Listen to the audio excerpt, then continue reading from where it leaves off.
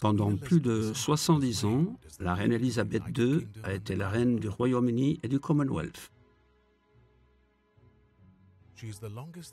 Elle est le monarque ayant le plus long règne de l'histoire de la Grande-Bretagne et le plus unique au monde. Tour à tour, on est passé de simple princesse grandissant dans l'ombre de la Seconde Guerre mondiale à une jeune reine radieuse à la tête d'un empire qui avait grand besoin de changement. Dans les années 90, elle était affectueusement la majestueuse grand-mère des princes William et Harry. Aujourd'hui, au crépuscule de sa vie, c'est une reine loyale au service de son peuple. En 70 ans de règne, la reine a été témoin d'incroyables changements sociaux, politiques et culturels comme nul autre monarque n'en a connu. La royauté est un mélange de mythes et de réalité. C'est l'union entre le conte de fées, de princesse et la vie réelle. Et quand cette princesse devient reine, la fable est complète. C'est comme un rêve devenu réalité. Le rêve devient réalité.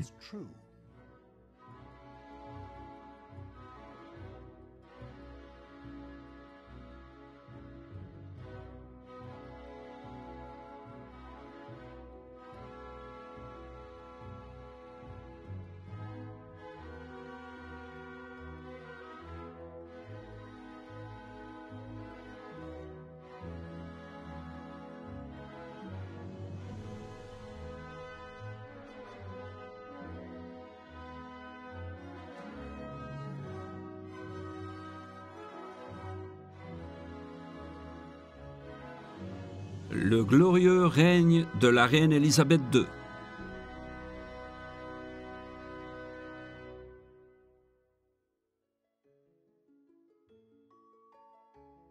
Petite, la princesse Élisabeth n'aurait jamais pensé qu'elle deviendrait reine un jour. Ce n'était qu'une princesse. Certes, un peu spéciale, car elle menait une vie idyllique et hors du commun. Ses parents étaient le duc et la duchesse d'York, et ils habitaient à Londres, dans la rue Piccadilly. En dépit de leur richesse, ils menaient une vie, tout ce qu'il y a de plus normal. On aurait dit les princesses Béatrice et Eugénie aujourd'hui. Elle était la fille de la duchesse et du duc d'York, des membres moins importants de la famille royale. Elle a grandi avec un grand respect pour la couronne, en connaissant l'importance du devoir et de la monarchie, sans jamais être affectée par l'arrogance et la vanité qui accompagnent parfois la fonction. Ce qui lui a valu cette modestie que tout le monde apprécie.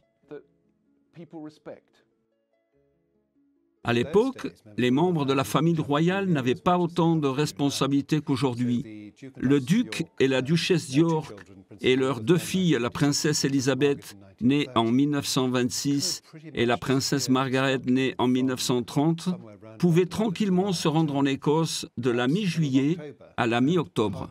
On ne les voyait pratiquement pas. Des deux filles du roi George VI, Elisabeth était la plus sérieuse et la plus solide, tandis que Margaret était la plus fantaisiste et la plus expliègle. Élisabeth était aussi discrète que Margaret et aimait attirer l'attention, aussi consciencieuse que Margaret était désobéissante. La princesse Élisabeth était très proche de son père. Il formait une famille très unie. Il avait l'habitude d'utiliser l'expression nous quatre. Malgré les voyages et leurs différentes fonctions, c'était une famille relativement recluse. Quand elle a voulu rejoindre les Brownies, cette troupe de jeunes guides, on en a constitué une au sein du palais de Buckingham avec des filles très convenables. En gros, elle est devenue une guide, une brownie, comme elle le souhaitait, mais dans la sécurité du palais.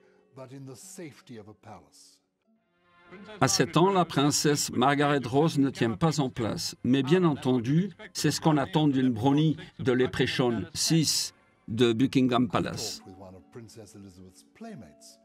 Un ancien camarade de la princesse Élisabeth, qui la connaît depuis l'enfance, m'a révélé que, bien qu'on s'amusait bien avec elle, elle manquait d'audace. Elle ne prenait jamais de risques. Ça a toujours été une petite fille bien élevée, sage et ordonnée.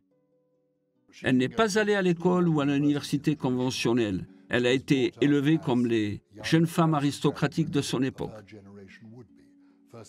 Elle a d'abord reçu une instruction à domicile, puis a suivi des cours spéciaux sur l'histoire constitutionnelle d'un tuteur du collège d'Eton. La princesse Élisabeth est née dans les années 1920, au lendemain de la Première Guerre mondiale et aux prémices de la Seconde. 1930 était une période marquée par l'austérité et le chômage.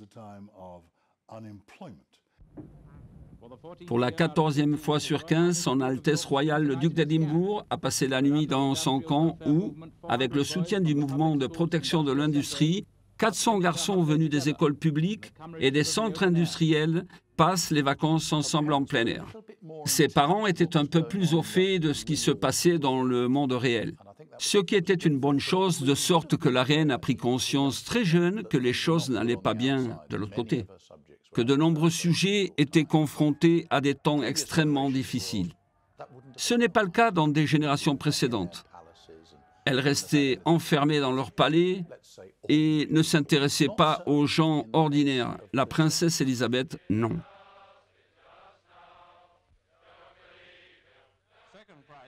Le deuxième prix revient à la princesse Élisabeth. Cela a été une période très édifiante pour la reine surtout en raison de sa relation avec sa mère. Cette dernière a toujours voulu s'impliquer dans la société et dans la communauté. Durant le Blitz, elle a déclaré qu'elle était soulagée que Buckingham Palace ait été bombardé, parce qu'elle voulait vivre de près la situation dans l'East End. Par ailleurs, ils étaient très attentifs aux besoins de l'époque.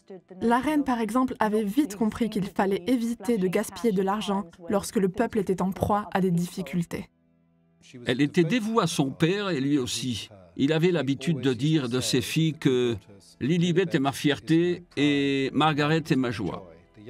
Il avait trop gâté sa fille cadette. Il n'arrivait pas à croire qu'il avait créé une créature aussi séduisante. Sa sœur cadette, Margaret Rose, était la plus espiègle et la plus agitée de la famille. Dès le début, la princesse Elisabeth s'est comportée comme une future reine.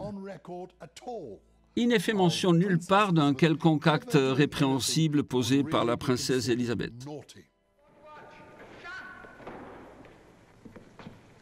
Prête pour l'inspection. C'était une enfance idyllique, car les princesses étaient très proches de leurs parents, qui étaient très présents à l'époque. Après l'abdication, tout a changé. Le plus dur pour la jeune Élisabeth a été de passer d'une vie relativement tranquille à une vie sous les feux de la rampe.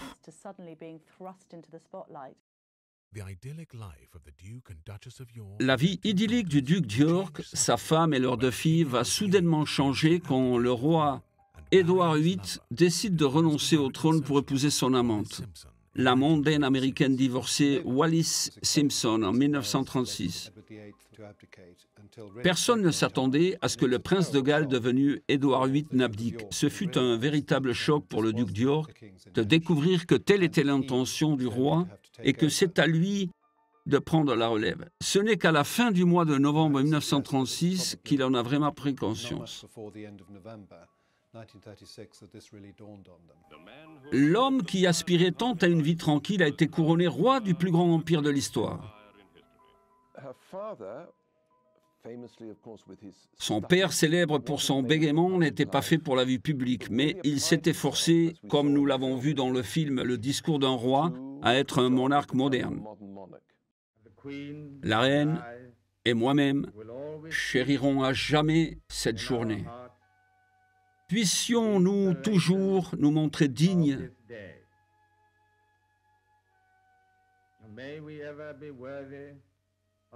de la bienveillance qui, j'ose croire, nous entoure en ce début de règne.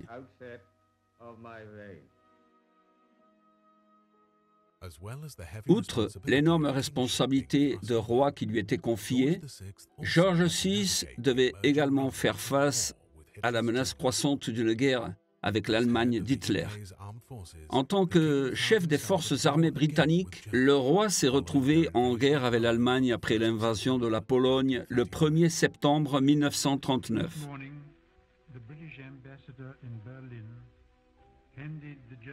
Ce matin, l'ambassadeur du Royaume-Uni à Berlin a adressé un ultimatum au gouvernement allemand, déclarant que si nous n'étions pas informés à 11 heures du retrait de leurs troupes de Pologne, l'état de guerre serait déclaré entre nous. Je tiens donc à vous informer maintenant qu'aucune communication de ce type n'ayant été reçue, nous entrons en guerre contre l'Allemagne.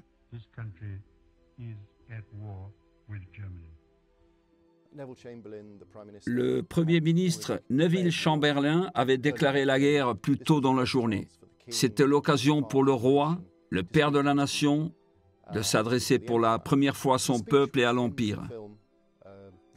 Le discours qui clôt le film Le discours d'un roi, comme on l'a surnommé, est extrêmement important. En cette heure grave, peut-être la plus décisive de notre histoire, j'adresse à chaque foyer qui forme mes peuples, tant ici qu'outre-mer, ce message.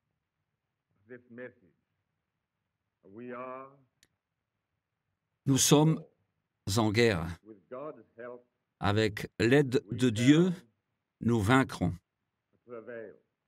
D'une certaine manière, on peut dire que la Seconde Guerre mondiale lui a été bénéfique, car il a joué le rôle d'un grand homme d'État. Et à la fin du conflit, il s'était imposé comme un roi aimé de tous. Que ce soit en France avec ses troupes ou chez lui avec les victimes des bombardements, son courage et son enthousiasme sont une source d'inspiration.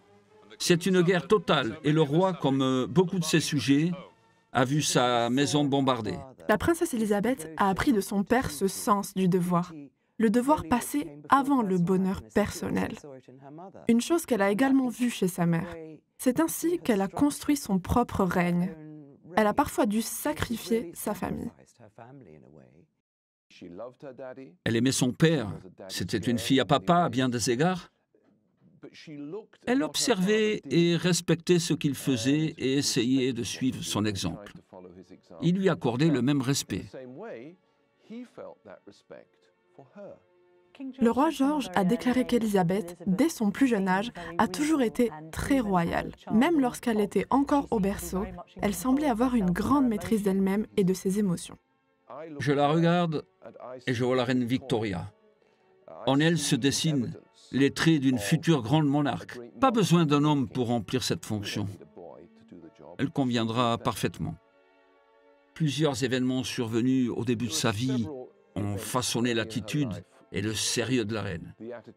Tout d'abord, la crise de 29 qui a eu lieu pendant son enfance. Ensuite, l'abdication qui a été un réel traumatisme pour sa famille. Son père a été secoué émotionnellement lorsque son oncle Édouard VIII n'a pas rempli son rôle au sein de la famille royale, faisant passer l'amour d'une femme avant son devoir envers la couronne. Et enfin, la Seconde Guerre mondiale. Durant la Seconde Guerre mondiale, sa sœur et elle ont vécu au château de Windsor, pratiquement isolés. Elle y recevait des visiteurs, prenait part à des danses, des fêtes et rencontrait de jeunes soldats aristocrates, les gardes de l'époque. Cela peut sembler étrange à dire, mais la guerre a été une période agréable pour les princesses. La princesse Elisabeth a même confié à sa gouvernante Nous sourions trop nous avons l'air trop heureux, car elle avait conscience de ce qui se passait et s'intéressait au sujet. Mais le château de Windsor, pendant la guerre, ressemblait plutôt à un immense terrain de jeu. Elle a voulu rejoindre l'ATS, l'Axioliary Territorial Service, l'armée pour les femmes. Bien qu'elle fasse preuve d'un certain sang-froid, jusqu'à ce qu'elle commence sa formation, elle n'avait jamais conduit avant. Pendant des mois, elle se rend tous les jours à Aldershot et étudie pour apprendre à devenir mécanicienne automobile, à changer des roues et à démonter un bloc cylindre. Lors de l'inspection des bougies, la princesse Margaret a montré qu'elle était apte à servir. Le soir, elle rentrait à la maison et bassinait sa famille à propos des cylindres et de ce genre de choses. Tout ce qu'a entrepris cette femme au cours de sa vie, elle l'a fait sérieusement. À la fin de la Seconde Guerre mondiale, lorsque l'Europe fut proclamée victorieuse, une grande fête avec des gens qui dansaient dans les rues de Londres fut organisée. La princesse Élisabeth demanda à son père la permission d'aller dans les rues pour voir ce qui se passait. Accompagnée de quelques gardes accrédités, elle est descendue dans la rue et s'est mêlée à la foule. C'était à ce moment-là qu'elle a été le plus proche de la réalité de la guerre. Ma sœur et moi avons réalisé que nous ne pouvions pas voir la foule qui faisait la fête. Nous avons alors demandé à nos parents la permission d'observer l'événement de près. Comme nous avions très peur d'être reconnus, j'ai rabattu ma casquette d'uniforme sur mes yeux. Nous avons salué le roi et la reine sur le balcon et avons marché pendant plusieurs kilomètres dans les rues. Ce fut l'une des nuits les plus mémorables de ma vie.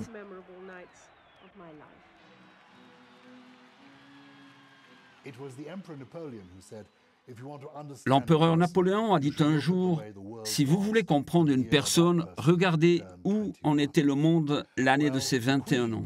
La reine a eu 21 ans dans les années 1940 et elle a conservé les valeurs d'une femme de cette génération.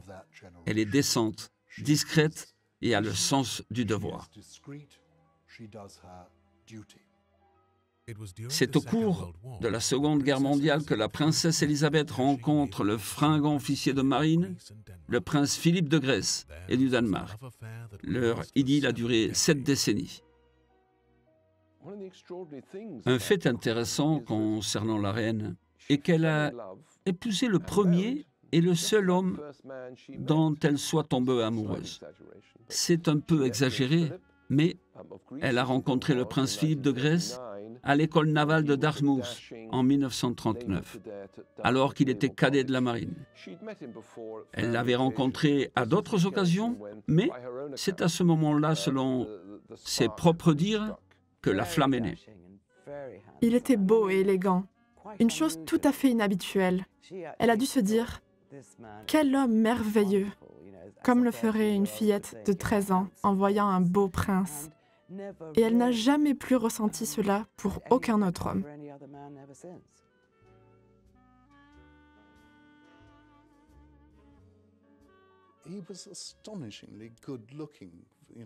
Il était blond et extrêmement beau. Beaucoup de femmes se pâmaient d'amour pour lui à l'époque. Même plus tard, certaines le décrivaient entre autres comme un, un viking aux cheveux blonds. Il avait une silhouette admirable et était très élégant dans son uniforme. Il était toujours en parfaite forme physique et avait l'air d'un jeune dieu grec.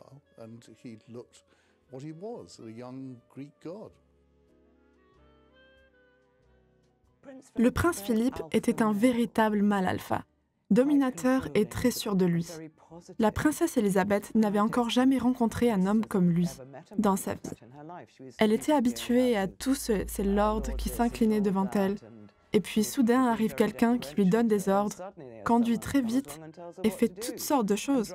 Il était très viril. Elle était complètement amoureuse de lui.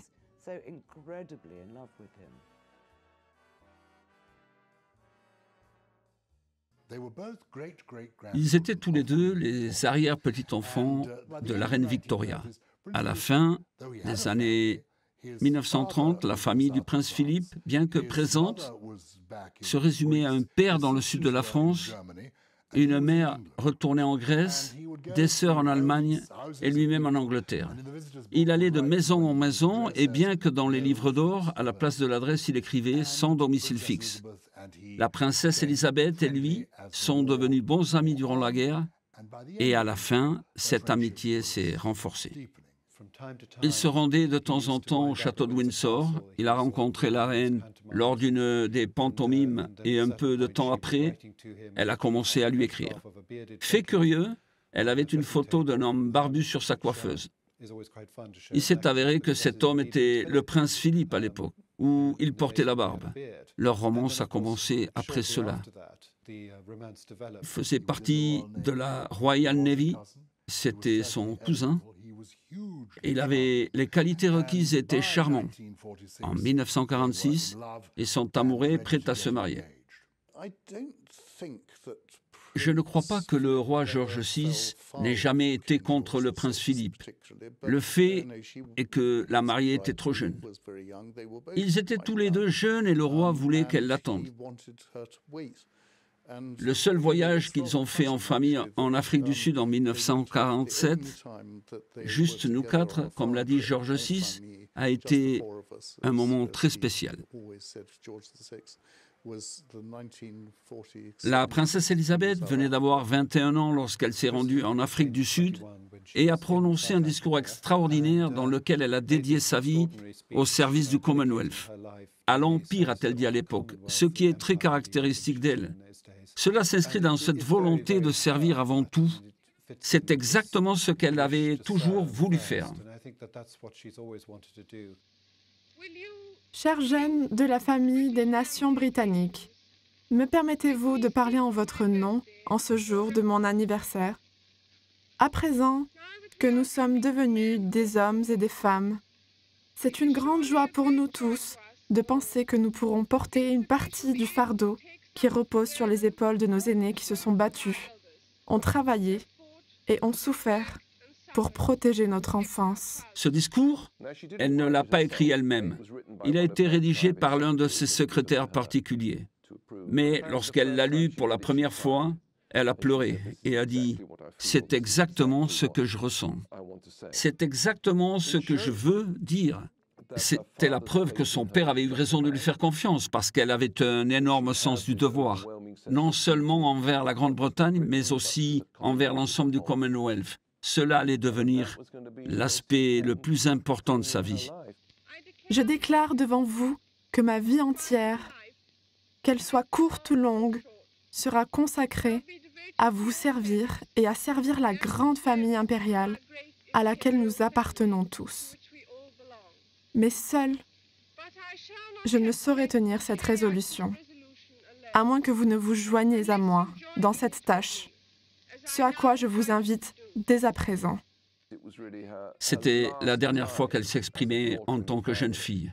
Elle savait qu'après cela, elle deviendrait la fiancée de Philippe et l'épouserait. Alors que les préparatifs du mariage royal vont bon train, voici quelques photos remarquables de la famille royale accompagnée du lieutenant Philippe Mountbatten. Les membres de la cour ne savaient pas qui était cet homme. La princesse Élisabeth était parfaite, belle, bien éduquée et savait comment se comporter. En revanche, personne ne connaissait le prince Philippe. Qui était-il? Où étaient ses parents? Son grand-père Le roi de Grèce avait été assassiné. Son père avait été jugé lors d'un simulacre de procès et avait failli être exécuté l'année de sa naissance. Il s'est exilé en France avec toute la famille.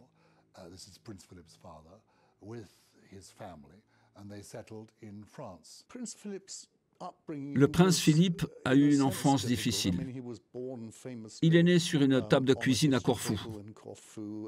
Il a été évacué dans une caisse d'orange à bord d'un destroyer britannique. On peut dire qu'il a eu une vie relativement pénible en France. À la fin des années 1920, ses parents se séparent. Sa mère fait une dépression et finit dans un asile en Suisse tandis que son père s'installe dans le sud de la France où il vit avec sa compagne sur un bateau au large de la côte d'Azur. Il m'a toujours dit qu'il était pan-européen. Je ne sais pas exactement de quelle origine il était. On l'appelait Philippe le Grec, mais il n'avait pas de sang grec. La famille royale grecque à laquelle il appartenait n'était pas originaire de ce pays. Elle venait d'ailleurs, de l'Allemagne vraisemblablement. Il a lui-même déclaré, Pourquoi aimerais-je les Grecs? Ils ont maltraité ma famille, ce qui est vrai. Dire qu'il est grec est très loin de la vérité.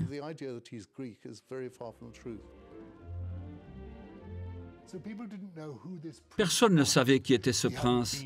Il n'a pas étudié dans une école traditionnelle en Angleterre et n'a pas fait partie de la brigade de garde. Il a fréquenté Gordonstown, une école fondée par le prince Max de Baden, un Allemand également fondateur de Salem. Il a fait partie de la Royal Navy, c'est bien mentionné sur les dépêches. Mais qui était-il vraiment? Après l'annonce des fiançailles, de nombreuses personnes autour du roi et de la reine se sont montrées méfiantes. Après avoir renoncé à ses titres et prédicats royaux grecs et danois, Philippe adopte le nom de famille de sa mère, Mountbatten. Jour de son mariage avec la princesse Élisabeth, il reçoit le titre de duc d'Édimbourg. Hommage et réjouissances associés à un énorme faste ont marqué l'événement royal le plus important depuis le couronnement. Ce mariage royal, on aurait dit l'avènement d'une nouvelle ère élisabéthaine. Le pays était dans un état lamentable. La guerre l'avait plongé dans une telle austérité. Tout à coup, il y a cette belle mariée, car Élisabeth était incroyablement belle, et ce séduisant officier de la marine en passe de sortir le pays du marasme de la guerre et de lui offrir un avenir radieux. C'est le sentiment qui se dégageait de leur mariage. C'était comme un conte de fées. Peu de temps après, les prières du peuple ont été exaucées et les mariés sont apparus sur le célèbre balcon. Dans l'ensemble, le public britannique a considéré le mariage du prince Philippe avec la future reine avec un soulagement bienvenu, après une période d'austérité et d'horreur considérable.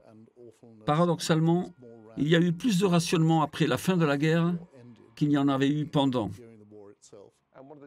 Sur les 1700 cadeaux de mariage officiellement répertoriés, l'une des choses les plus charmantes est que des centaines étaient des bas de nylon que des femmes des fidèles de la cour ont envoyés à la princesse. Elle savait qu'en ces temps difficiles, c'était quelque chose que toutes les femmes souhaitaient. Puisse le bonheur actuel de notre princesse et de son mari s'épanouir encore davantage au cours des années à venir. Après son mariage avec Philippe, la princesse Élisabeth a donné naissance au prince Charles en 1948 et à la princesse Anne en 1950. Après leur mariage, ils ont eu deux enfants. Elle en voulait plus, mais ils ont dû remettre leur projet à plus tard. C'est pourquoi ils ont eu deux vagues d'enfants l'une avant le couronnement et l'autre après qu'elle ait consolidé sa place sur le trône. Elle a passé une année merveilleuse avec Philippe en tant qu'épouse d'officier de la marine. Après son mariage, Philippe a insisté pour poursuivre sa carrière. Elle voulait qu'il suive cette voie. La famille royale a accepté et il s'est rendu à Malte, où la marine britannique avait un énorme contingent à l'époque. Il commandait son propre navire. Elle n'y est pas allée en tant que princesse, mais en tant qu'épouse du capitaine. Pour la première et unique fois de sa vie, elle pouvait conduire sa voiture, aller au salon de beauté, prendre un café avec ses amis. C'était une vie très proche de l'ordinaire et elle voulait que les choses restent ainsi pendant longtemps.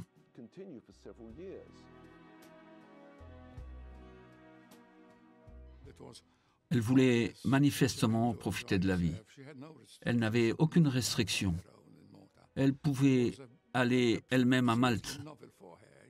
C'était tout nouveau pour elle. Officiellement, elle était la patronne. Mais dans la vie privée, c'est Philippe qui donnait les ordres. C'est ce que je crois. Il lui donnait des ordres tout le temps. Je ne devrais pas dire ça, mais je l'ai entendu lui crier dessus.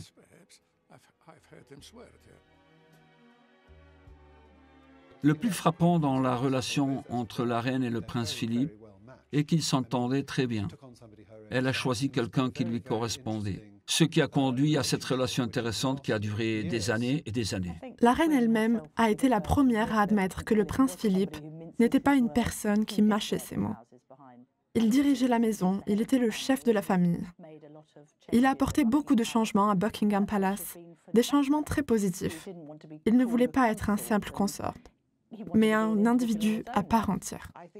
Une part de la personnalité actuelle de la reine, cette personne pleine d'humour et incroyablement perspicace qu'elle est devenue, vient du fait qu'elle a vécu avec quelqu'un qui avait une forte personnalité, à savoir le prince Philippe. Elle lui vouait un amour éternel. C'est la clé de nombreux mariages heureux. C'est la différence entre les personnes qui veulent que leur mariage fonctionne c'est cela qui était le ciment de leur mariage. Trop souvent, je le crains, le prince Philippe a dû m'écouter parler. Ce n'est pas quelqu'un qui accepte facilement les compliments, mais il a été ma force et mon soutien durant toutes ces années. Je me souviens d'un événement qui s'est produit il y a quelques années, lorsque je les ai accompagnés au théâtre, que j'étais avec eux dans la loge. Lorsque je suis sorti pendant l'entracte avec le duc d'Édimbourg, la reine s'est approchée de nous et a salué plusieurs célébrités présentes. Le duc d'Édimbourg et moi sommes restés dans un coin de la salle. Il a regardé en direction de la reine, cette petite femme au milieu de la foule. Elle était entourée de gens qui la saluaient et s'inclinaient devant elle. Il s'est appuyé contre le mur, tenant une coupe, jusqu'à ce que leurs regards se croisent dans la salle bondée et qu'elle lui sourit. Il a levé son verre et apporté un toast à sa santé. C'est à ce moment-là que j'ai compris le lien spécial qui existait entre ces deux personnes. Bien que la princesse Élisabeth soit extrêmement heureuse d'être l'épouse de Philippe, et la mère de ses deux enfants, la santé de son père suscite de plus en plus d'inquiétudes. George VI, atteint d'un cancer du poumon, avait dû subir une intervention chirurgicale pour lui retirer un poumon. Le matin du 6 février 1952, à 56 ans, il meurt d'une thrombose coronaire. La nation pleure son roi, cet homme qui avait gagné leur cœur après qu'il ait choisi de rester avec sa famille et ses compatriotes durant les jours sombres du Blitz de Londres.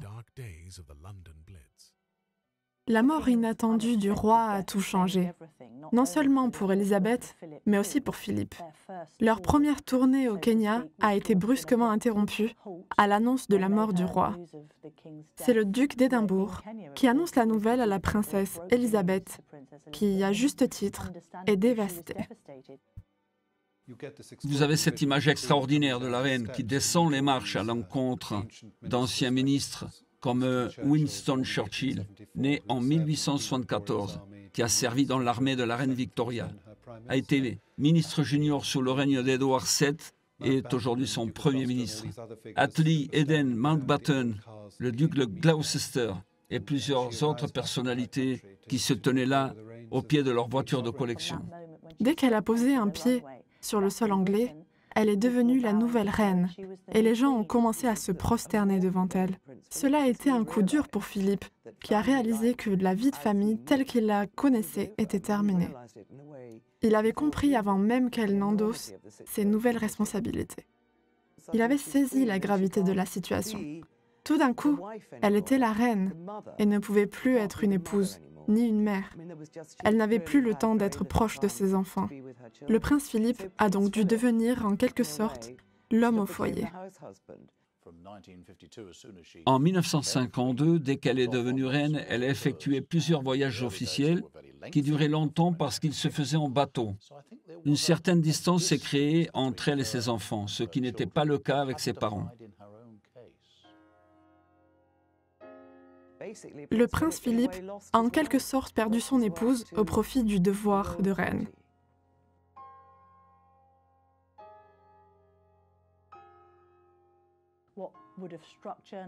Ce qui a le plus choqué les journalistes à l'époque, c'était son jeune âge et sa naïveté. Elle était déjà une femme cultivée et instruite, Mais son expérience en tant qu'épouse ou reine était quasi inexistante.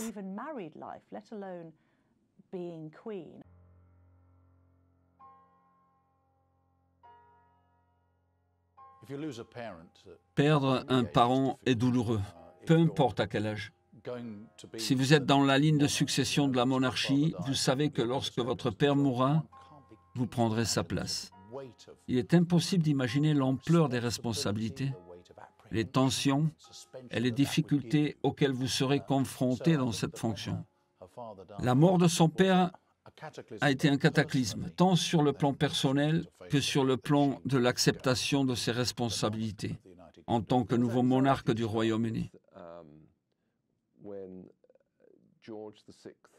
Il y a d'abord eu la tristesse due à la mort prématurée de George VI, sa figure paternelle. Comment une jeune fille peut-elle faire face à ce genre de situation? Puis Winston Churchill, dans son discours d'adieu à George VI et d'accueil de la nouvelle reine, l'a présentée comme une souveraine moderne montant sur le trône, au même âge que la reine Elisabeth, à l'époque des Tudors.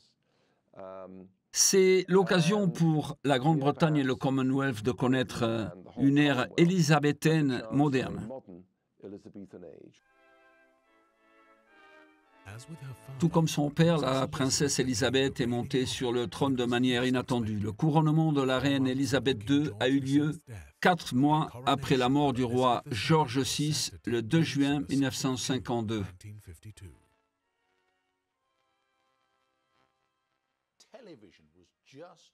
On commençait tout juste à parler de télévision. Le couronnement a eu lieu en 1952 et de nombreuses personnes ont acheté une télévision pour l'occasion, y compris ma famille. Mon père a acheté une télévision pour que nous puissions le regarder à la maison. Les voisins se sont réunis pour regarder, comme c'était de coutume. Cet événement a contribué à populariser la télévision. L'idée était d'en faire un événement mondial. Tous les membres du Commonwealth devaient pouvoir profiter de la cérémonie de couronnement de leur reine. Elle avait peur de faire une erreur qui serait filmée en direct à la télévision. Je promets solennellement de le respecter. La cérémonie fut ponctuée de moments extrêmement émouvants et intimes, comme lorsque, à communier, ou quand elle a dû exposer une grande partie de sa poitrine pour que l'huile du couronnement puisse y être appliquée. Elle n'a pas voulu que cela apparaisse à la télévision. Le peuple voulait voir de la royauté. Il ne voulait pas seulement voir en personne ses membres à Londres. Il voulait assister à sa manifestation. Que Dieu protège la reine.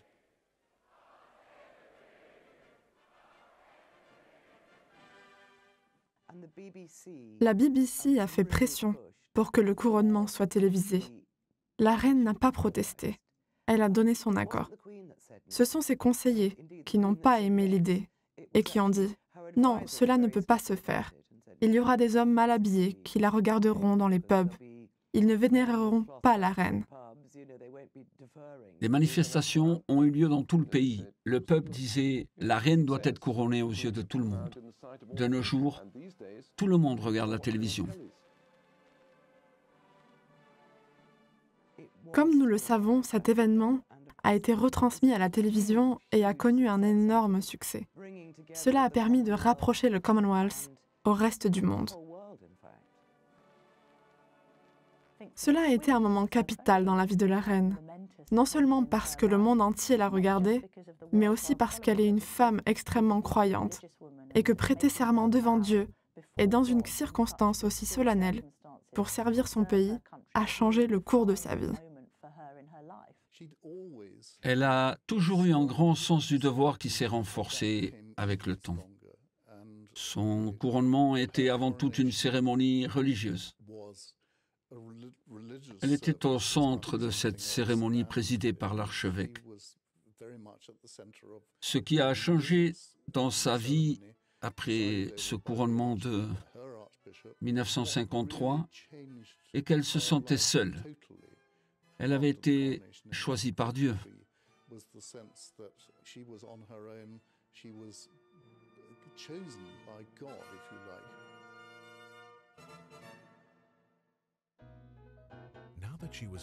Libérée de la possibilité d'être reine, la princesse Margaret, qui estime ne plus être sous les feux de projecteurs, décide de mener une vie libre.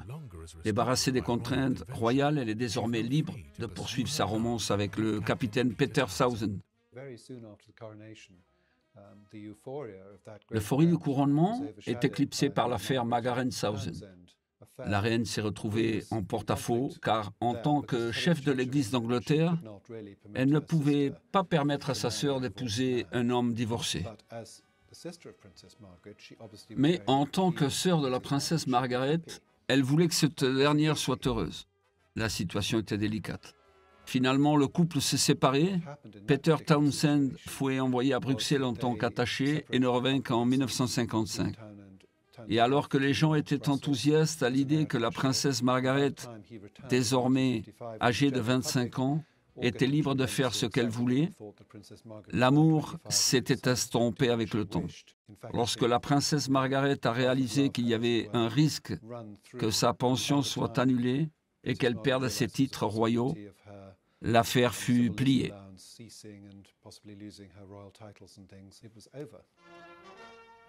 Message de la princesse Margaret publié par Clarence House.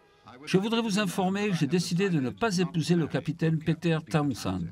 Je suis profondément reconnaissante de la sollicitude de tous ceux qui n'ont cessé de prier mon bonheur. En raison de leur proximité, la reine a soutenu Margaret tout au long de l'affaire Townsend, mais leur mère s'y est opposée. Elisabeth et Philippe ont été là pour Margaret autant qu'ils le pouvaient. Il est parfois rapporté à tort que c'est la reine qui n'a pas autorisé cette relation. Au contraire, quand le gouvernement a déclaré que Margaret ne pouvait pas épouser le capitaine, elle a été anéantie. C'est le gouvernement qui ne voulait pas de ce mariage. Elle avait beaucoup de compassion pour sa sœur, car elle savait ce qu'était le véritable amour. Elle-même avait épousé l'homme de ses rêves. La reine a souvent été confrontée à la difficulté de faire le distinguo entre son rôle de souveraine et celui de simple femme.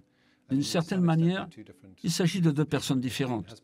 Il est bien connu que la reine se tourne parfois vers son secrétaire particulier pour lui demander ce que doit faire la reine. Le long voyage que la reine a entrepris pendant près d'un an à bord du nouveau yacht Britannia au début de son règne était non seulement une célébration de son accession au trône, mais aussi un remerciement aux pays membres du Commonwealth, l'Australie, la Nouvelle-Zélande, le Canada, l'Afrique du Sud, l'Inde et d'autres pays africains, pour avoir contribué à l'effort de la guerre contre l'Allemagne et le Japon en sacrifiant autant d'hommes et de vies.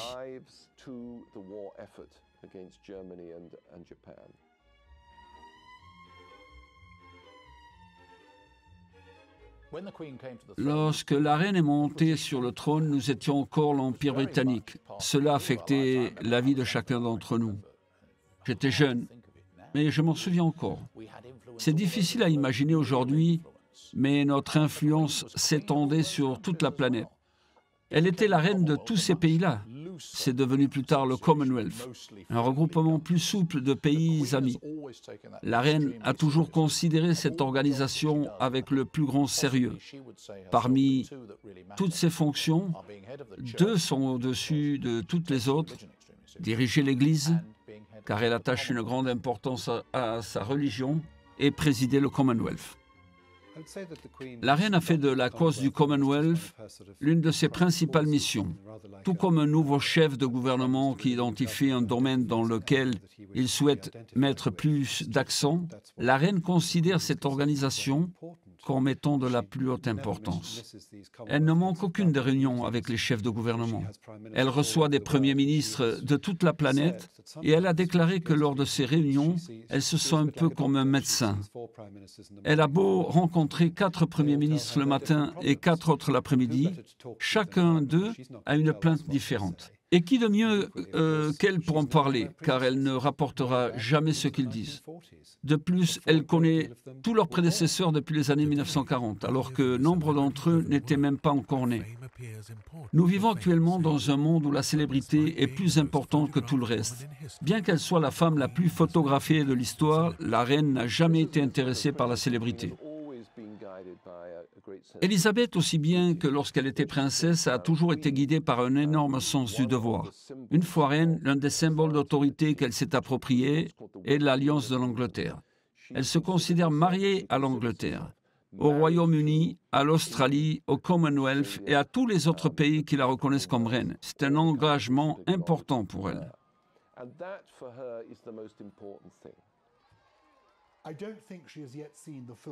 Je ne pense pas qu'elle ait jamais vu le film The Queen, parce qu'elle ne se focalise pas sur elle-même. Elle ne lit pas ce qui se dit sur elle.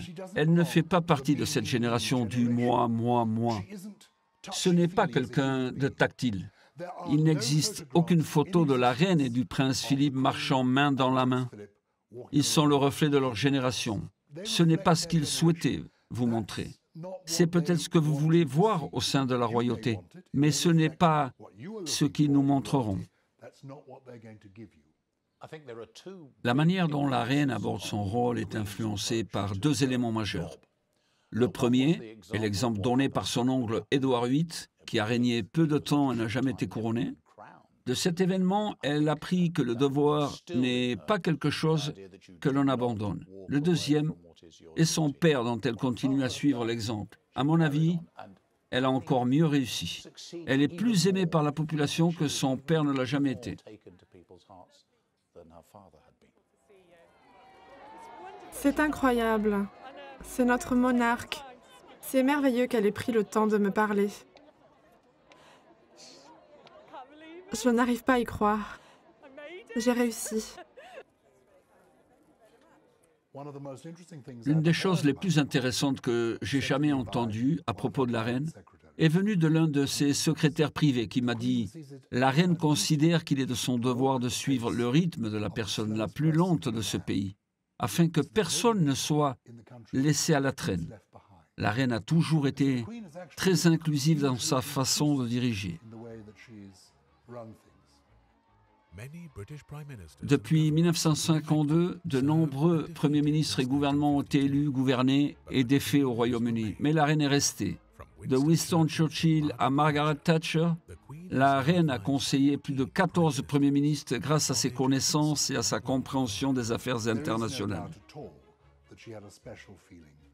Il ne fait aucun doute qu'elle avait une affection particulière pour Winston Churchill car il la connaissait depuis son plus jeune âge. Elle s'était assise sur ses genoux et il était un ami de ses parents. Son père a combattu pendant la Seconde Guerre mondiale aux côtés de Winston Churchill. Elle avait 26 ans lorsqu'elle est devenue reine et Winston Churchill, le grand homme de la politique européenne, a été son premier chef de gouvernement. C'était un premier ministre particulier. Depuis, elle a vu défiler des premiers ministres et a toujours été très habile pour ne pas leur permettre d'être euh, trop intimes avec elle. James Callaghan, un Premier ministre britannique, m'a dit un jour, la royauté offre de l'amabilité, pas de l'amitié. Il y a une différence.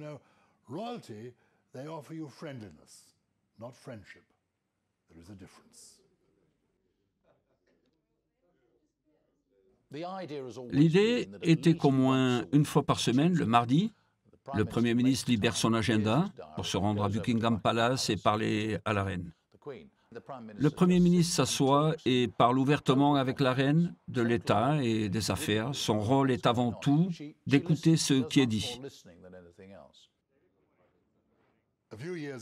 Il y a quelques années, je me trouvais dans un entourage privé, dans un coin de la pièce, en train de parler à la reine.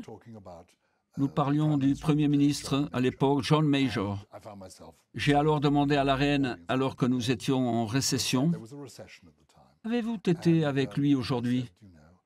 Quelle est la gravité de la récession? Elle a répondu plutôt mauvaise.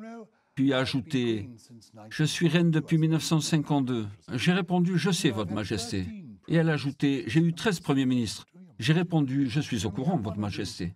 Et elle a dit Nous avons des récessions de ce genre de temps en temps. Et je ne pense qu'aucun de mes premiers ministres n'ait su comment les gérer.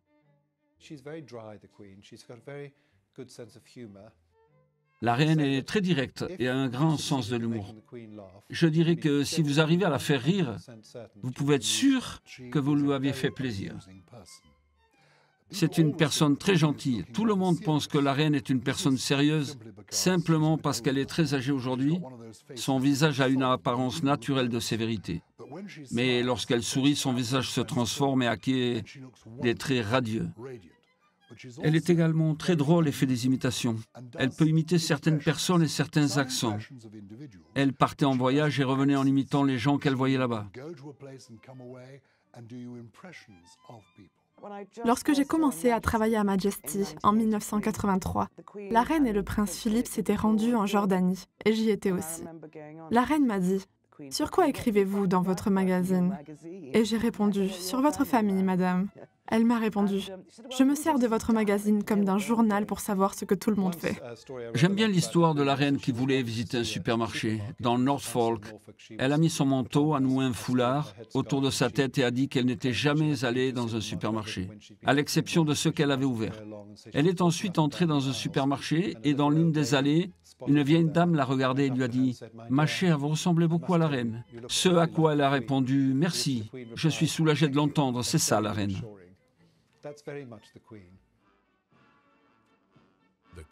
La reine est impartiale. Elle est la gardienne de l'histoire, de la démocratie et du patrimoine culturel britannique. Indépendante du Parlement, elle sert la monarchie et le peuple du Royaume-Uni avec dignité. Ils sont au-dessus de la politique. Ils ne sont pas là parce qu'ils ont été élus. Peut-être ne voulaient-ils même pas être là. Mais ils ont néanmoins consacré leur vie à leur devoir, ce à quoi nous devrions accorder de l'importance, étant donné que dans les années 1980, le comportement des jeunes membres de la famille royale a énormément nuit à l'image de la monarchie. S'ils nous inspirent, c'est parce qu'ils sont au-dessus de la politique et que des gens comme le prince Charles se soucient vraiment de leur pays et de leur peuple. Ce n'est un secret pour personne qu'elle a des différends avec le prince Charles.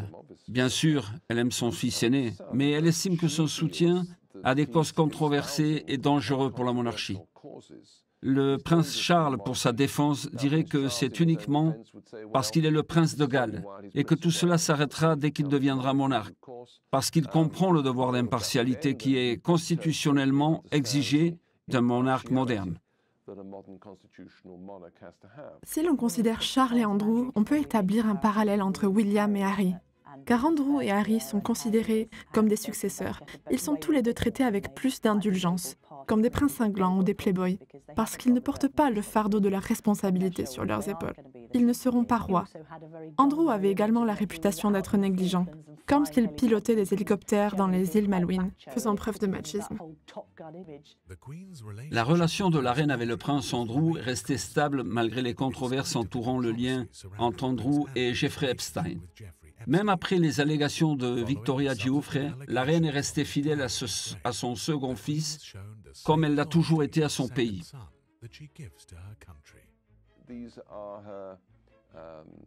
Ses plus jeunes enfants sont aimés et traités avec indulgence. Elle a beaucoup d'amour pour eux. Elle est peut-être beaucoup moins exigeante avec, avec eux qu'avec Charles. Qu'en pensez-vous Merci.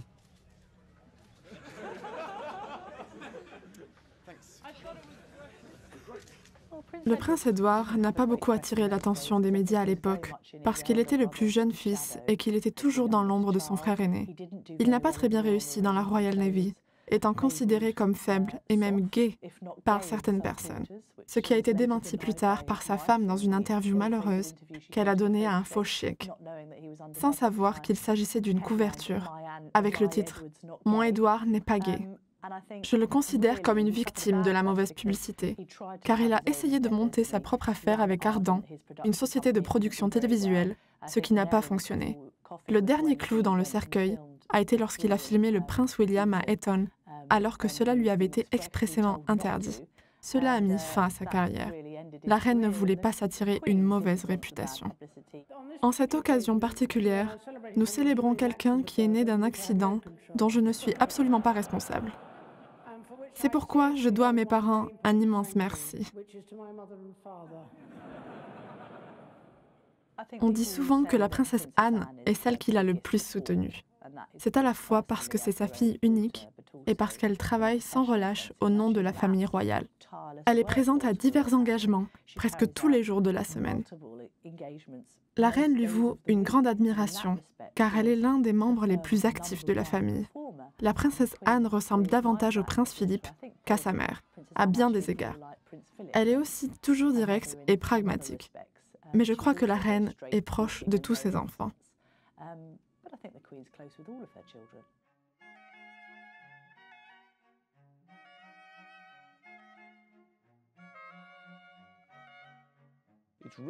Mais ce sont les petits-enfants qui attirent le plus l'attention de la reine. La reine est une grande matriarche. Elle aime être entourée de toute sa famille. C'est pourquoi le temps qu'elle passe à Sandringham à Noël et à Balmoral en été lui est si précieux. Car c'est à ces moments-là qu'elle peut être la matriarche, même si ce n'est que pour quelques semaines.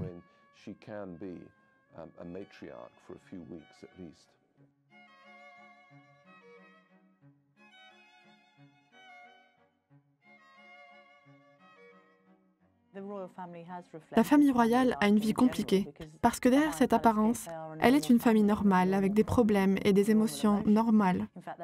En fait, elle est soumise à une pression encore plus forte de notre part à tous, car tout ce qu'elle fait est scruté de très près. S'il y a le moindre problème dans cette relation, les caméras sont prêtes. C'est ce qui s'est passé avec le prince Charles et Diana.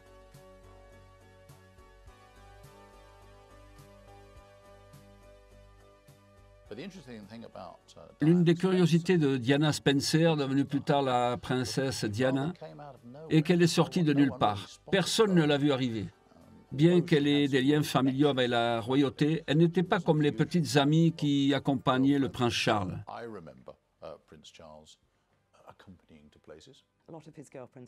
Plusieurs de ses petites amies avaient un certain bagage. Dans la presse, nous savions que le prince Charles avait besoin de trouver quelqu'un qui fasse table rase du passé. Et Lady Diana Spencer est arrivée comme un cadeau pour nous tous.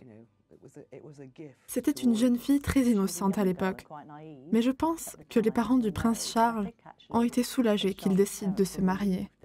Il est resté longtemps célibataire, une période où il semblait agité, ce qui lui a valu de mauvaises manchettes. Est-ce un prince playboy? Est-il indécis? A-t-il peur de l'engagement? Et soudain, cette belle fille est entrée dans sa vie, ce qui a grandement amélioré sa réputation, car non seulement il avait trouvé une compagne, mais elle était belle et glamour.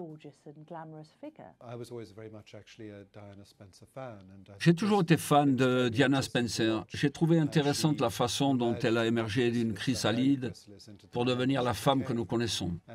Elle s'est acquittée de ses fonctions royales avec distinction. Pendant un certain temps, ils ont été considérés comme un couple de rêve. Ils pouvaient faire ce qu'ils voulaient n'importe où. Tout le monde voulait les voir. Le problème est que Diana Spencer été victime d'un anachronisme. Dans les années 70, lorsque Diana Spencer est apparue pour la première fois, la société ne se souciait pas de savoir si une épouse était vierge ou non. Mais lorsqu'il s'agit de la famille royale, cette coutume dépassée est toujours en vigueur. Elle était donc beaucoup plus jeune que le prince Charles. Et comme nous l'avons découvert plus tard, elle avait déjà une relation sentimentale avec une autre femme, Camilla. Mais la pauvre Camilla était un dilemme. Elle est tombée amoureuse du prince Charles et ils ont couché ensemble ce qui l'empêchait d'être la future reine. Cela semble ridicule et primitif parce que ça l'est vraiment. Deux ou trois ans plus tard, le prince Andrew est tombé amoureux de Fergie. Elle n'a jamais prétendu être vierge. Elle a eu des petits amis dans le passé. À l'époque, les gens s'en moquaient. Mais Diana était toujours prise dans ce piège qui était au cœur de la tragédie qui est devenue sa vie avec le prince Charles et qui a créé d'énormes complications pour la monarchie et pour la, la réputation d'Élisabeth II. Il est rare que la reine s'immisce dans la vie privée de ses enfants, et encore plus rare que cela se produise en public. ce qui s'est passé lorsque les problèmes du mariage du prince Charles et de la princesse Diana ont eu des répercussions dans les médias du monde entier. Nous n'avons pas abordé la question de son mal-être avant 1987, lorsqu'il est devenu évident qu'elle n'était pas heureuse. La reine a été extrêmement contrariée par la situation concernant le mariage de Charles et Diana, et ce pour plusieurs raisons. Il y avait évidemment une menace pour la réputation de la famille royale, mais il s'agissait surtout du bonheur du couple et de leur rôle en tant que parents de William et Harry, qui étaient très aimés par leur grand-père, mais représentaient aussi l'avenir de la famille royale. Un enchevêtrement d'émotions qui a imprégné le sujet. La reine a essayé de prendre Diana sous son aile, mais celle-ci était très réticente. Elle pensait que dîner avec la reine était quelque peu ennuyeux, voire intimidant. Elle trouvait toujours une excuse à chacune des invitations de la reine. Elles n'ont jamais été très proches. Or, cela aurait été d'une grande aide pour Diana. Lorsque son mariage a commencé à battre de l'aile, Diana allait voir la reine. Personne ne pouvait rencontrer la reine sans rendez-vous. Mais Diana attendait dans le vestibule que le visiteur qui était là parte.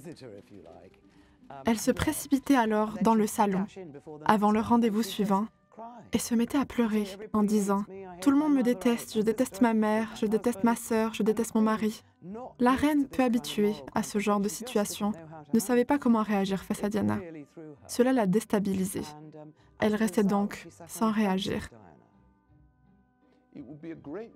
On pourrait penser à tort que la reine a blâmé Diana pour ce qui s'était passé. Son mari et elle ont davantage reproché au prince Charles que Diana. Parce qu'en fin de compte, c'est lui qui avait une petite amie secrète, bien que ce n'était plus si secret que ça pour la famille royale. Lui qui avait été préparé toute sa vie pour ce moment. D'après ce que je sais de la reine et d'après toutes les informations qui m'ont été communiquées, elle a essayé de ne pas s'immiscer dans la vie de ses enfants. Elle aurait probablement dû. L'une de ses plus grandes erreurs a été de n'être pas intervenue dans le conflit entre Charles et Diana. J'avais interrogé le, prince Philippe à ce sujet. Il avait simplement répondu ⁇ Nous sommes une famille. Ce sont des choses qui arrivent dans une famille. Ils ont essayé d'y faire face comme une famille et ont réagi comme l'aurait fait n'importe quelle mère et père de leur génération. L'une des choses qui affligeait la reine et le prince Philippe à propos de Diana, princesse de Galles, et de Sarah Ferguson, épouse du jeune duc d'York, était toute l'attention dont ils faisaient l'objet et qu'elles imaginaient leur être personnellement destinées.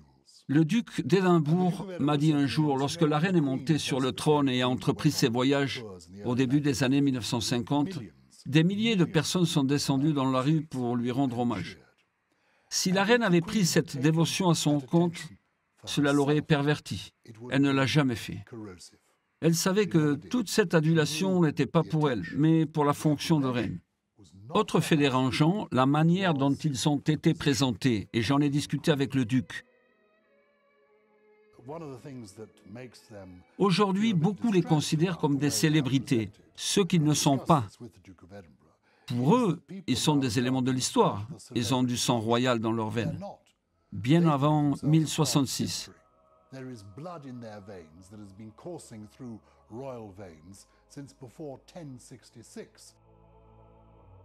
Le mantra de la reine concernant la famille a toujours été ne jamais se plaindre, ne jamais s'expliquer. À cet égard, elle a toujours gardé un silence absolu sur des sujets tels que l'amour, le mariage et le divorce. Le moment où elle s'est le plus ouverte est celle de son année terrible.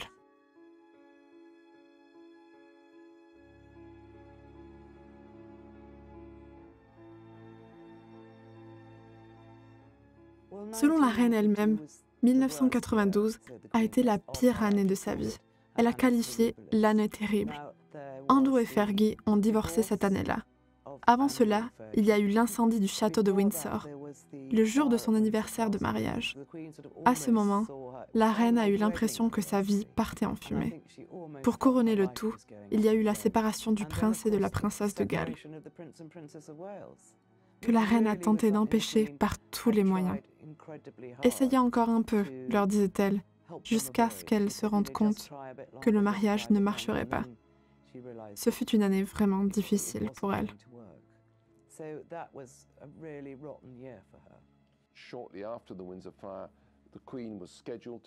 Peu après l'incendie du château, la reine devait prononcer un discours. Elle n'a pas hésité à aborder le sujet de sa maladie. Elle avait mal à la gorge à cause de la fumée et un rhume. L'accumulation de tous ces éléments renvoyait l'image bouleversante d'une femme âgée qui a vu sa maison détruite par les flammes et dont les enfants avaient divorcé. C'était une année terrible.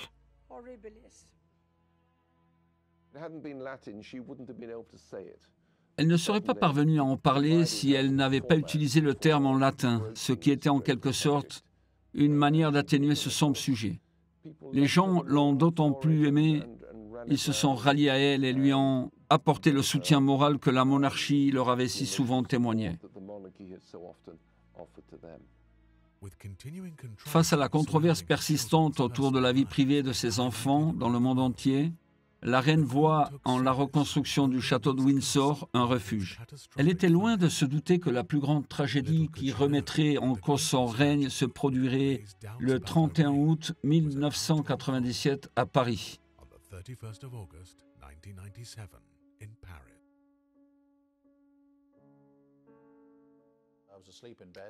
Je dormais quand mon téléphone a sonné. L'un de mes supérieurs m'a dit Nick, il y a eu un accident de voiture à Paris. Dodi Fayed est mort et on pense que la princesse aussi. Je me suis rapidement levé, je me suis changé, je suis allé directement au studio en plein milieu de la nuit. La nouvelle est alors devenue réelle. Les chaînes de télévision l'ont relayée pendant une semaine. Un flash info de la Press Association a annoncé que Diana, princesse de Galles, était décédée dans un accident de voiture à Paris.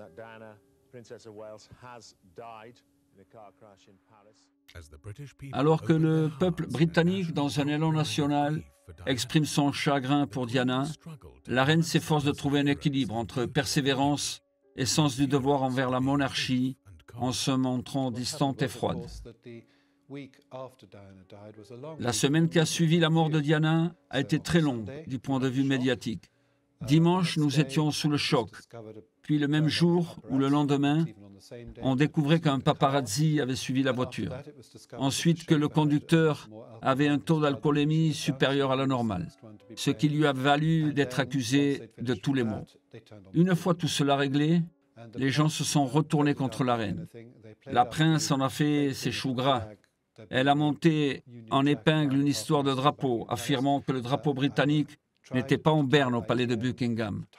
J'ai demandé plusieurs fois à ITN pourquoi ne filmez-vous pas le château de Windsor avec le drapeau en berne? Cela ne les intéressait pas. Ils voulaient le porte-drapeau pour montrer que la monarchie s'en fichait.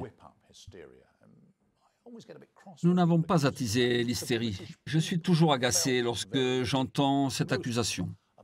Une grande partie du peuple britannique a été profondément touché par le père de Diana. Nous étions conscients qu'il ne fallait pas davantage enflammer les esprits. Jamais nous n'avons dit que la reine avait agi de manière terrible, qu'elle n'était pas allée à la rencontre de la foule à Londres. Nous avons essayé de faire le plus attention possible, mais l'histoire prenait de l'ampleur.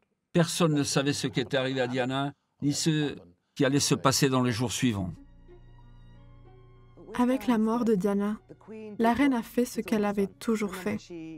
Il faut savoir qu'elle aime la continuité. Elle a donc fait ce que son père et son grand-père auraient fait. Ils se sont isolés à Balmoral et de l'extérieur, on fait comme si rien de grave ne s'était produit.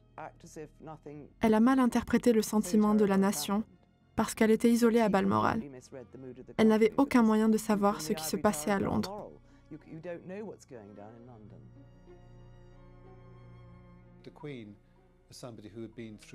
La reine a connu la guerre, sa génération réagit différemment à des événements comme euh, l'accident de voiture dans lequel est morte son ancienne belle-fille.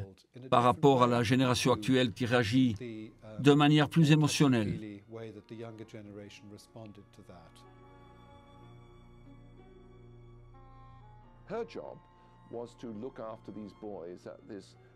Son rôle était de s'occuper des garçons pendant cette période traumatisante de leur vie. C'était sa priorité. C'est la raison pour laquelle elle ne voulait pas être entourée de caméras ni faire d'annonces publiques. Elle voulait éviter à William Harry d'être sous les feux des projecteurs.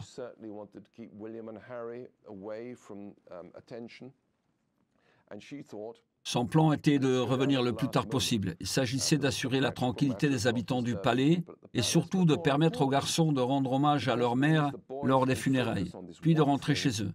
Cependant, ce n'est pas ainsi que le peuple britannique, les médias et le monde entier ont perçu la situation.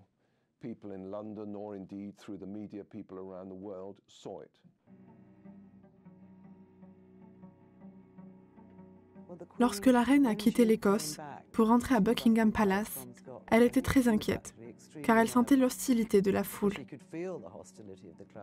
Pendant sa marche, elle a entendu des gens dire ⁇ Il était temps que vous rentriez ⁇ Des gens disaient des choses horribles, jusqu'à ce qu'une femme lui offre un bouquet de fleurs et qu'elle lui demande ⁇ Voulez-vous que je le dépose pour vous ?⁇ et la femme lui a répondu, Non, madame, elles sont pour vous. Cela brise la glace et les gens se sont montrés compatissants. Au lieu d'être en colère, ils ont finalement réalisé qu'elle n'était qu'une grand-mère qui essaie de faire face à tout ce qui se passait.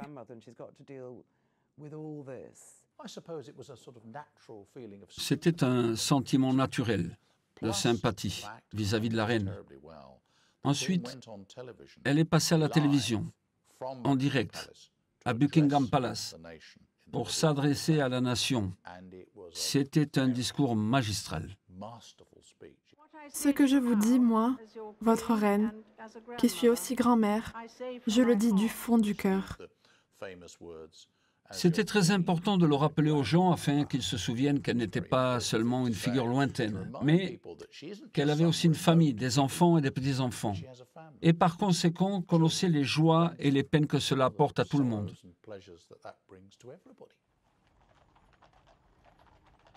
Pour une femme jugée conservatrice et quelque peu rabat-joie au cours de son règne, elle a fait preuve à maintes reprises dans des moments de crise d'une capacité à réfléchir rapidement et à changer de cap.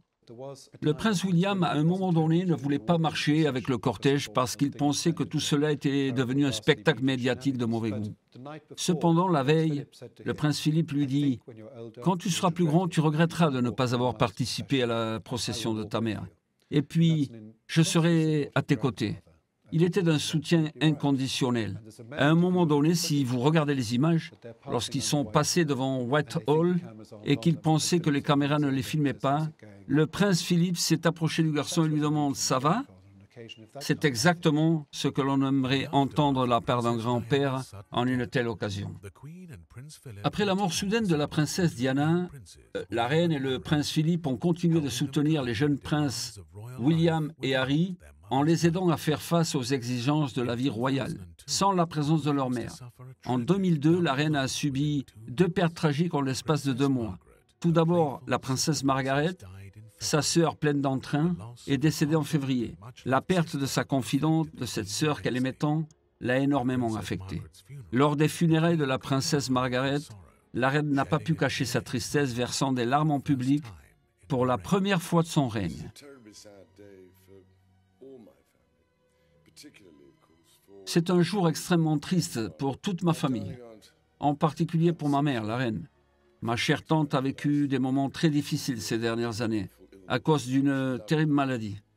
Elle aimait la vie et la vivait pleinement. Elle nous manquera énormément. Au nom de toute la famille, en particulier de ma grand-mère, la reine Elisabeth, je remercie toutes les merveilleuses personnes qui nous ont présenté leurs condoléances et envoyé des lettres de sympathie. Elles ont été très appréciées.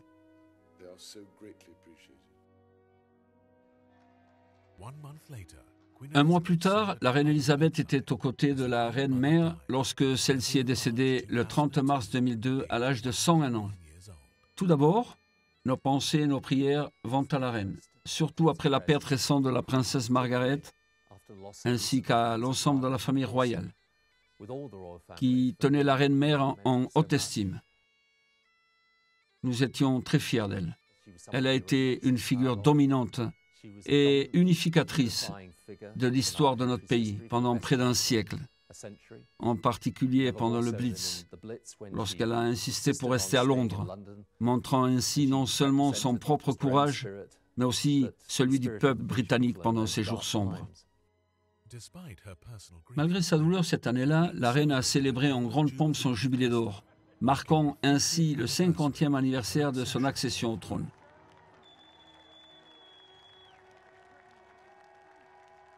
Après les récents décès survenus à la maison de Windsor, la reine a été heureuse de célébrer le mariage de son petit-fils, le prince William, avec Kate Middleton, à l'abbaye de Westminster en 2011. William était le deuxième héritier du trône britannique. Son mariage avec Kate a ravivé la magie de la monarchie et l'espoir de la jeune génération. Il y a toujours une certaine excitation à voir un beau prince convolé en juste noces et comme on peut s'y attendre, le mariage du prince William n'a pas dérogé à la règle. Un an après le mariage du prince William et de Kate, la reine a célébré une autre étape importante lors de son jubilé de diamant en 2012. La foule était encore plus nombreuse que dix ans auparavant. Elle se montre toujours incroyablement pudique lors de tels événements, ce qui rend son expression de surprise d'autant plus charmante lorsqu'elle a vu tout ce monde s'enthousiasmer et faire la fête brandir des drapeaux et faire la fête en grand.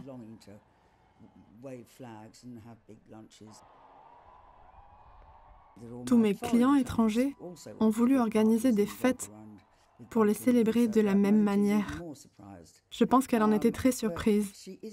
En ce sens, elle était très modeste.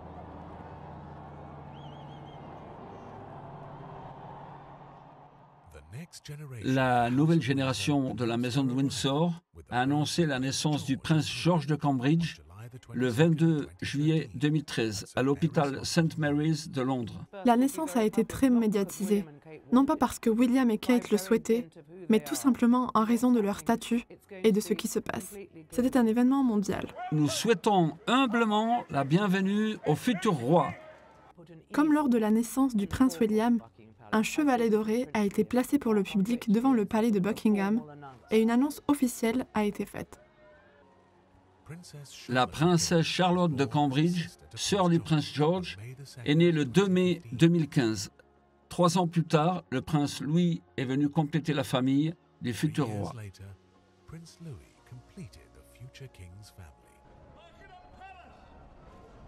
Buckingham Palace annonce fièrement la naissance du nouveau prince le jour de la Saint-Georges 2018. La reine Elisabeth II a été témoin du cours de l'histoire tout au long de son règne. En septembre 2015, elle laisse aussi son empreinte en tant que monarque ayant eu le règne le plus long des 1200 ans de la monarchie britannique. Aucun monarque n'a régné aussi longtemps. Une longue vie est inévitablement jalonnée d'étapes, et la mienne ne fait pas exception. Je tiens cependant à remercier tous ceux qui, sur le continent ou à l'étranger, m'ont adressé des messages touchants, d'une grande gentillesse. La voir devenir la souveraine britannique après le plus long règne de l'histoire millénaire de la monarchie britannique est le moment que nous attendions le plus. C'est une grande réussite, tant pour le Commonwealth que pour les autres pays du monde. Elle a consacré toute sa vie au service du Royaume-Uni. C'est le fait le plus marquant de son parcours extraordinaire. En 2017, après avoir accompagné son épouse pendant plus de 65 ans, le duc d'Édimbourg a annoncé son retrait des fonctions royales à l'âge de 96 ans, ou comme il aime bien plaisanter, retraite du poste de révélateur de plaques, le plus expérimenté du monde. Vous allez maintenant voir le révélateur de plaques le plus expérimenté au monde. Je suis fier de tenir le rôle du prince Philippe. C'est un personnage riche, intrigant et conflictuel, surtout dans sa jeunesse. Nous sommes très fiers de la famille royale d'Angleterre. À 96 ans, la plupart des gens auraient pris leur retraite. il y a 20, 30 ou 40 ans. Il a rendu de grands services, tout en gardant son sens de l'humour, ce qui est vraiment incroyable. Désolé d'apprendre que vous prenez votre retraite. Je ne suis pas loin. À présent que son mari a pris sa retraite et que la nouvelle génération se prépare à assumer les responsabilités royales auprès de leur père, le prince Charles, la reine, a commencé à réduire son emploi du temps officiel.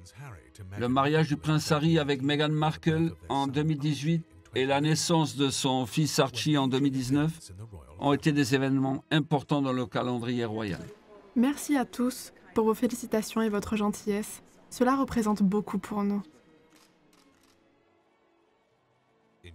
En janvier 2020, leur statut de haut dignitaire royaux leur est retiré après qu'ils aient renoncé à leurs fonctions royales. Le prince Harry perd ses titres militaires et royaux ainsi que son patronage d'organisation caritative. Le couple s'installe ensuite aux États-Unis où il commence à se construire une vie loin de la famille royale jusqu'à la survenue de la pandémie du Covid. Face à l'isolement dans le monde et à l'impossibilité d'effectuer des visites royales, la reine transfère sa résidence au château de Windsor pendant la pandémie. Alors que le monde fait face à l'incertitude causée par le Covid, la santé du prince Philippe commence à se détériorer. L'âge du duc d'Édimbourg commence à se faire sentir pour la première fois au fil de fréquents séjours à l'hôpital et d'interventions chirurgicales. Le 9 avril 2021, l'époux de la reine s'est éteint paisiblement à quelques jours de son centième anniversaire. L'âge d'or de la monarchie britannique touche lentement sa fin. Le duc d'Édimbourg et la reine ont été mariés 73 ans. Quand on perd une figure comme celle-là, on ressent forcément un grand vide.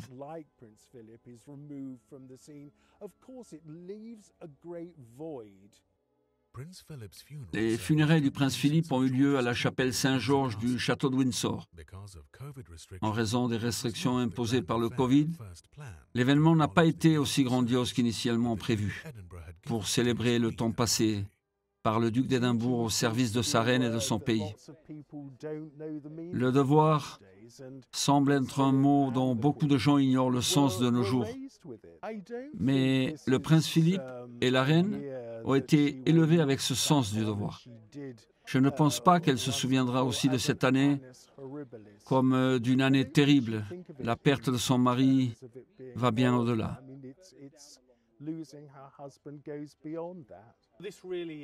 C'est un moment triste pour le corps de la marine. C'est un moment de réflexion qui nous permet de rendre hommage au service exemplaire rendu par le prince Philippe. Lorsque vous regardez sa vie, vous vous rendez compte qu'elle a été consacrée au service de la nation et du peuple. C'est tout à fait exceptionnel. Là est son héritage. Un héritage de révérence et de respect. C'est un exemple à suivre pour nous tous.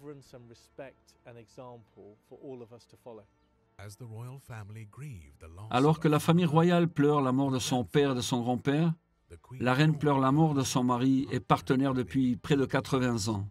En se faisant photographier triste et assise seule, en raison des restrictions imposées par le Covid, elle a gagné le respect et l'admiration de ses sujets. Bien que son Premier ministre, Boris Johnson, ait été pris en flagrant délit de violation du confinement établi par son propre gouvernement, la reine n'aurait jamais désobéi aux lois promulguées en son nom, tant que ses sujets y étaient soumis. À l'approche du 70e anniversaire de son couronnement, elle a annoncé que son cher château de Windsor deviendrait sa résidence permanente.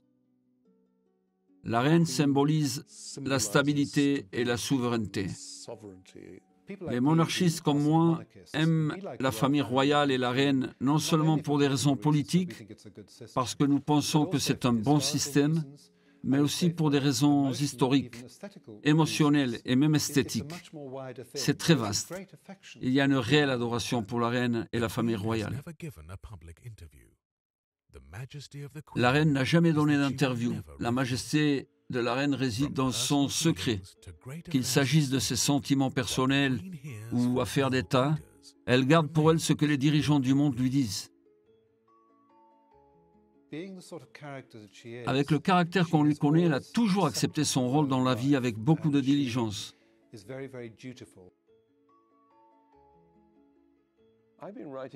J'écris des articles et des livres sur la famille royale depuis 40 ans, depuis les années 70. Et je dois dire que même si je peux prétendre connaître très bien la reine et la monarchie, l'essence de la reine reste une énigme pour moi. C'est ce qui fait sa force.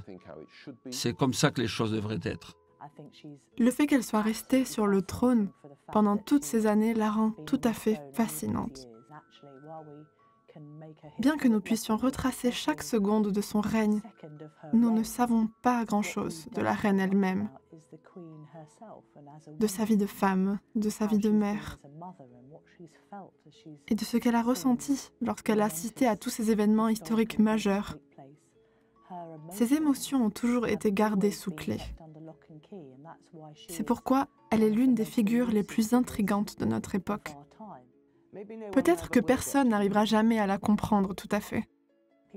Les gens sont fascinés par ce qui se passe derrière la façade.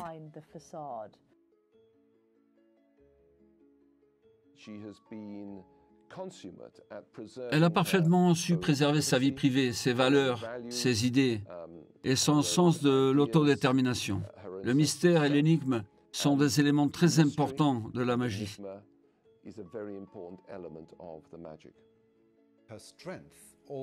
Sa force a toujours été sa constance, sa capacité à peser le pour et le contre, sa capacité à toujours penser à l'avenir. Les gens admirent sa longévité, sa constance. Elle est là, forte et solide. Elle est sur le trône depuis 70 ans, plus longtemps que quiconque dans l'histoire de l'Angleterre et même dans l'histoire du monde. Il ne lui reste que quelques années avant de dépasser le record du roi de France Louis XIV et de devenir le monarque ayant le règne le plus long de l'histoire. La reine est une personne qui attire les foules. Elle fait partie de ces personnalités publiques que les gens aiment voir. Les membres de la royauté britannique qui réussissent le mieux sont les plus discrets, ou du moins les plus modestes. Ceux qui comprennent qu'ils font partie d'une institution bien plus grande qu'eux et qui symbolise des choses plus importantes que n'importe quel individu. Ce qu'elle a fait et ce qu'elle continue de faire, c'est ce que la population célébrera pendant le jubilé, sa persévérance. Cette année, l'accent a été mis sur elle. Célébrons dès maintenant cette femme pour tout ce qu'elle a fait pour le Royaume-Uni et pour la joie qu'elle apporte au monde. Une chose dont nous sommes sûrs à propos de la reine, c'est que c'est quelqu'un de stoïque. Elle se confronte à la réalité, elle est réaliste. Le prince Philippe n'est plus à ses côtés, mais comme nous l'avons vu depuis sa mort il y a plus d'un an, elle reste inébranlable.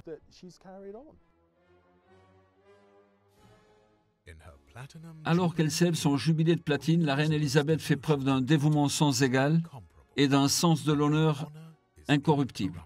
C'est une matriarche, une femme qui s'est battue pour préserver l'unité de sa famille et de la monarchie britannique pendant plus de 70 ans. La reine Elisabeth II est un monument de continuité dans ce monde en perpétuel changement. Elle est la manifestation d'un aspect historique qui reste toujours d'actualité. La reine est toujours aussi surprise par l'immense affection que lui témoigne son peuple. Je trouve étrange et charmant qu'après tant d'années, cela la surprenne encore.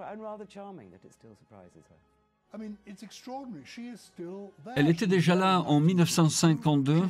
C'est extraordinaire qu'elle soit encore là aujourd'hui. La même reine, le même sourire. Elle garde les mêmes rendez-vous année après année. C'est ce que les poètes appellent la sécurité d'une relation familiale. Nous savons ce que nous pouvons attendre de la reine. Elle ne nous décevra pas, elle sera toujours là.